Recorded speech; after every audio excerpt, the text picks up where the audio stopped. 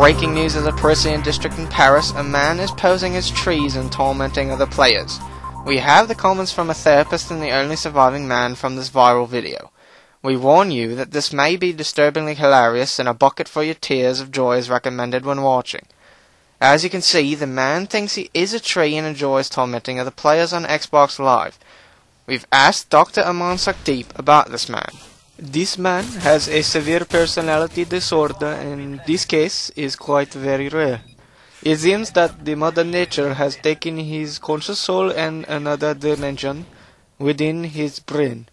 This is not dangerous though, he simply just needs to be cured by a doctor. Thank you, Dr. Ahman Sukhdeep. And now we have a statement from the lone survivor of the specific incident.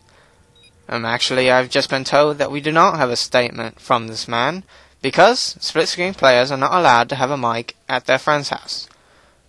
Staying with the story, a GIGN representative has told us to tell you that you should tell your neighbors to barricade their yards and keep a close eye out for a man standing near or in between a couple of trees, or even posing like one, because he is armed and, from the looks of this video, has great gun skill and seems to have been trained in the current arts of trolling and ninjaing.